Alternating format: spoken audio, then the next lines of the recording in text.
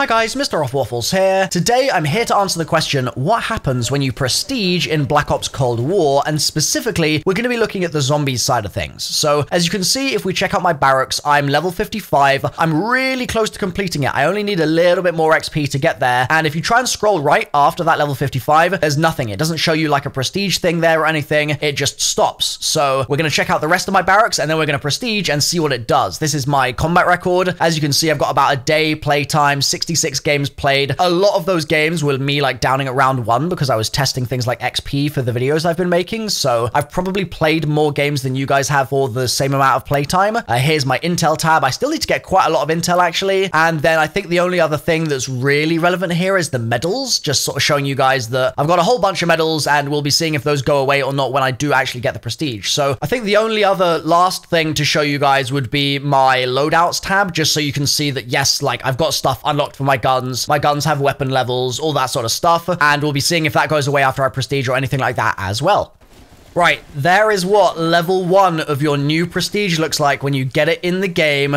Pretty snazzy stuff. And then I'm going to exfil from this game and check out the new menus. So you've got a nice little animation here for when you level up to that new prestige level one. Love that. You're going to get your sticker and emblem that we saw as that rank one in the game, but you're also going to get a prestige key, which we'll be talking about in just a second. The barracks is going to look largely the same. You've got your military ranks here, and if we scroll through these, you'll see that it is the same progression list as it was before. This is not something new. It's basically just a recap so that you guys can basically refer back to it if you need to. Your combat record will all stay there. You won't lose any of that information. This is not like a stats reset or anything like that. Don't worry. Your medals will all be there. You'll still have all of the stuff in your loadout as well. So it's really not resetting you on any front here whatsoever. You keep your attachments, you keep your weapon levels, everything, okay? The key to it all is this prestige key that we got. And I'm going to explain exactly why we got one of them now, how to get more, and what the hell they're for as well. It's a new system this year that's a little bit confusing at first, but I'm pretty sure I can keep it nice and and simple for you guys and you'll understand. So I got a prestige key because I hit my first prestige in the pre-season of the game. This is not season one. Season one drops in December. Currently, there are two more prestige keys that I can get. If I get to season level 50, so that's now that I've prestiged, if I push myself up to the new level 50, and then if I keep going and get to season level 100, I can also get another prestige key. This in the preseason is the max season rank that you can get to. You cannot go past season rank 100 in the preseason, and so there are only three three prestige keys available right now. And when you get your second prestige key at season level 50, so that's 50 levels away from where I am right now, you're going to get yourself the special Hauer 77 shotgun blueprint called Nightfall. The prestige keys currently cannot be spent. They can only be spent when season 1 begins